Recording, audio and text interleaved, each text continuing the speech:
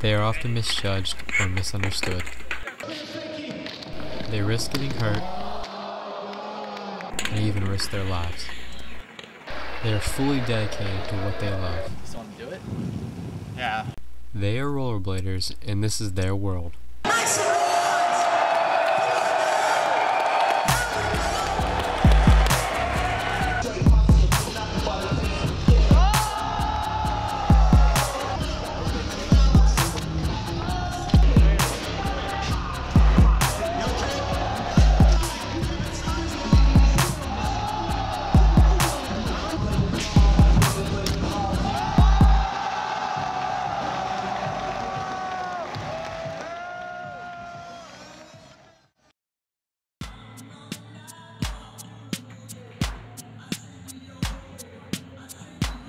Many rollerbladers go to skate parks to practice their tricks and learn new ones.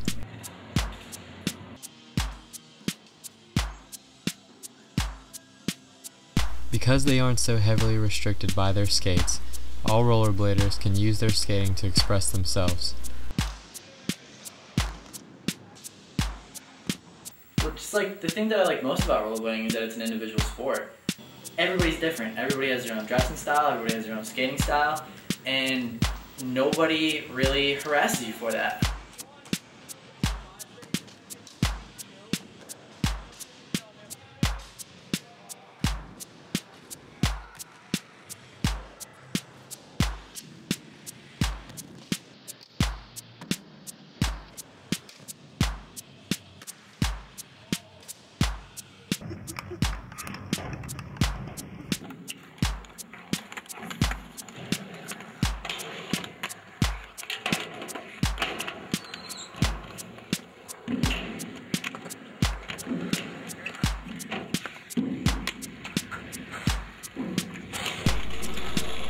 Most of the time when rollerbladers get together to skate, their goal is not to compete.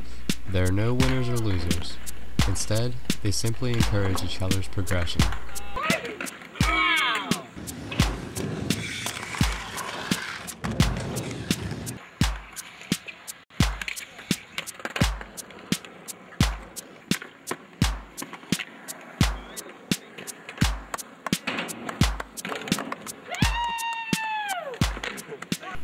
While rollerbladers are well aware of the risks involved while skating, they continue to push themselves to progress, sometimes pushing themselves too far. So the first time I met Nate, uh, he had just moved here to Pittsburgh, and we were skating this ledge spot downtown, and he was trying this really crazy trick. He was doing it good, and he just kept wanting to redo it. He just wanted to make it perfect. And we had people watching the street. We had people blocking off cars. It was a scenario where nothing could happen. And he got on the ledge and then jumped off, jumped into the street, and we heard this squeal, and this car just drove right through the red light and just smashed into him. And we were so scared because we thought Nate was underneath the car. So I dropped the camera, I ran over to Nate, and he was on the sidewalk holding his knee. And he, you could just tell that something was wrong. And he was just holding his knee, and he's like, I, I don't know what to do with his knee being hurt. He only has a certain amount of time to skate.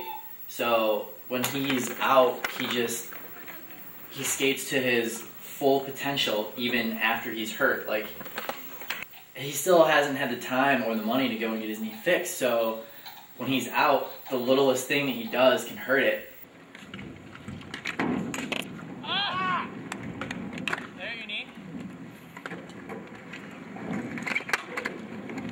Like with today, he it was the most pain I've ever seen him in, and he just continued going because he only had today to skate.